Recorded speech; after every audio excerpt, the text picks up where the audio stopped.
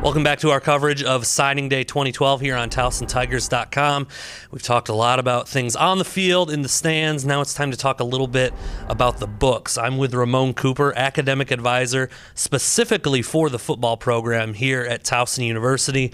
And Ramone, I mean, the title says some things, academic advisor, but tell me tell me a little bit about what your role specifically entails here with the uh, with the football team. Uh, specifically, I am here for student athletes, primarily the freshman and first semester uh, transfer student athletes, to aid them in the transitionary period here at 2000. So whether it be the first college institution or their first year here at Towson, I want to help work with them on time management, organizational skills, uh, making sure that they are prepared to handle the workload of football as well as balancing with the importance of academics. Mm-hmm.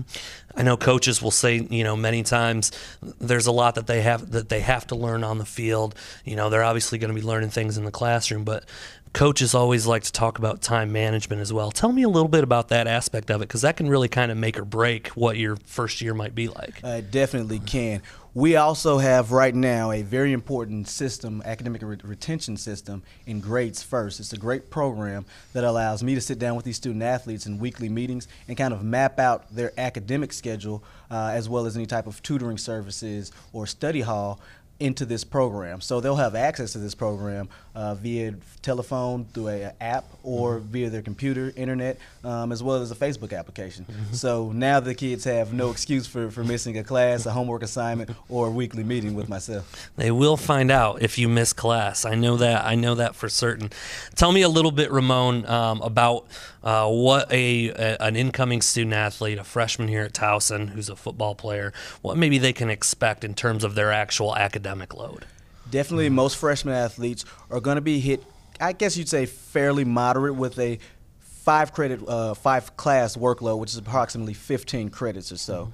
Mm-hmm. Uh, that way, I can get a feel of what type of student this student athlete actually is, if they can actually handle the 15, or if maybe you know they prefer 12 credits, which, or in terms four classes, would be more so their speed. So the first semester, they would definitely have that 15 credits, uh, and that would be worked around their football schedule, of course. Uh, so they would actually generally have practice in the afternoons. Um, and before then class, and then after that, they can expect to see me for study hall in the nighttime. So their time is going to be uh, very mandated and, and, restricted into what they have to uh, available to them as in, um, in means of free time, mm-hmm. but definitely uh, we want to make sure that they see the academics as first, football as second, and then academics third again with the study hall.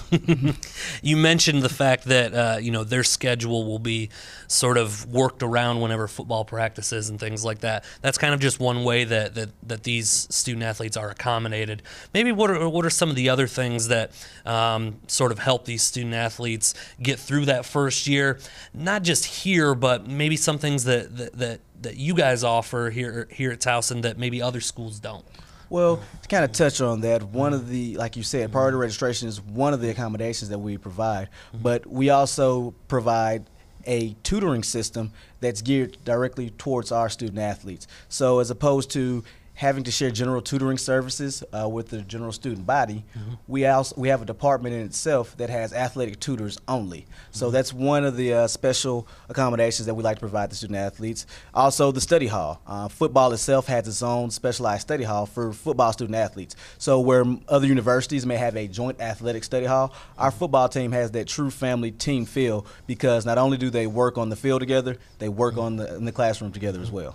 And not just work, but work hard, both on the field and in the classroom as well. And Ramone, just just to wrap up here a little bit, I know you were a former student athlete yourself. Tell us a little bit about your experience as a student athlete and maybe what you can recall from from a day like today. It's an exciting day to, to get to signing day. I think mm-hmm. excitement definitely kind of is the coin phrase for this uh, this day and this feeling. Uh, excitement and anxious, nerves. You, feel a lot of nerves. You are, you are nervous. You realize you're about to embark on a very big journey, um, the, the, next phase and step in your life. So uh, I think excitement, anxiousness, and, and, nervousness, all in a sense, maybe. Um, kind of the terms that you would use to, to sum that up and those feelings that I had mm-hmm. um, on this day uh, several years back. A track and field athlete, a track and field athlete working with football here at Towson, but a former track and track and field athlete in Ramone Cooper. We'll actually stick with that theme with our next interview. We'll have Roger Ericker here in our studio. That's next here on TowsonTigers.com.